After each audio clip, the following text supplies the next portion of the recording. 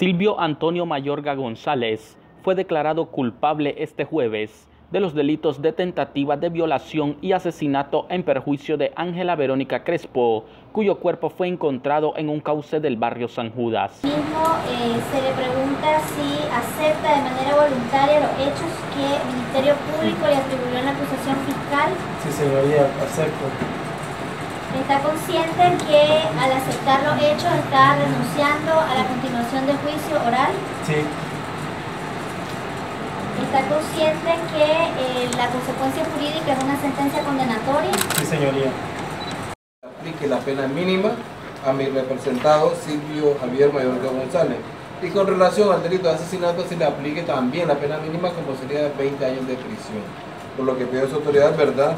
Eh, con fundamentación en lo ya referido, e igualmente me he defendido de su propia espontánea voluntad, ha decidido dirigirse a sus autoridades donde admitían los hechos. Mayorga González mató la noche del pasado 8 de octubre a Ángela Verónica Crespo en el cuarto que él alquilaba en el barrio San Judas, después de haber tomado licor en un bar. La sentencia condenatoria será leída el próximo 12 de diciembre.